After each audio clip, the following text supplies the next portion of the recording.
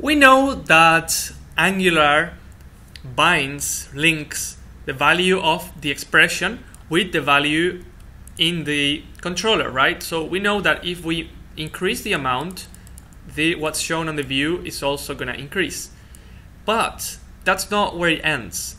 There's actually a two-way data binding in Angular. So if we were to modify this value in our view with a form, for instance, an input field, it would also change the value of the model. So that's why it's called a two-way data binding.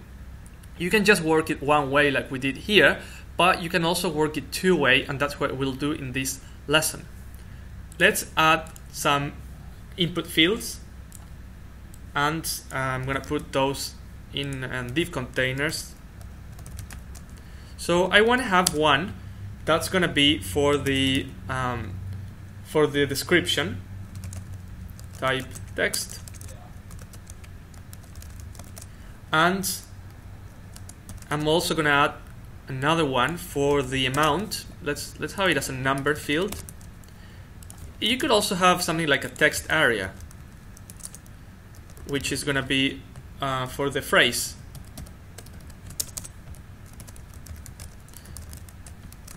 now we have the fields here how do we link these fields to these variables we need to use the um, directive called ng model. ng model allows us to specify what model this particular field refers to. In this case, this one is going to be expense description. This one's going to be um, expense.amount. And this last one will be simply phrase. That's the name of the title. If we reload the page now, um, wait, I forgot the R. See how automatically all of these fields are taking the value of their corresponding models because we made it very explicit that this input refers to this particular model. What happens if I change it? If instead of food I write the Spanish word comida, which means the same thing. It changes dynamically. It's like magic.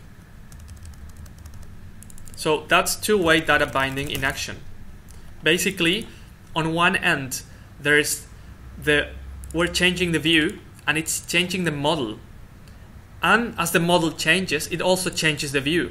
What we're seeing here reflects the model, and this is changing, this is modifying um, what happens in the model. This is extremely powerful. This is two-way data binding in Angular, one of the main, main concepts, main features, amazing features of Angular JS.